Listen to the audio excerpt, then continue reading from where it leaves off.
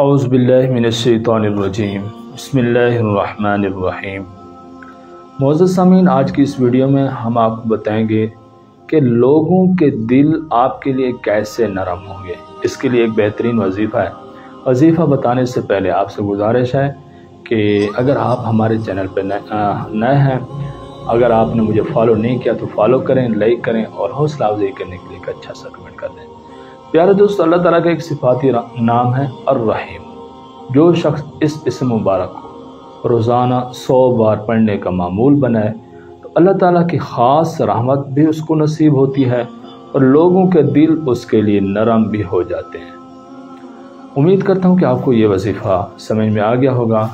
अगर ये वीडियो आपको अच्छी लगी है तो आगे शेयर ज़रूर करना। मुझे अपनी दुआ में याद रखना। असलकम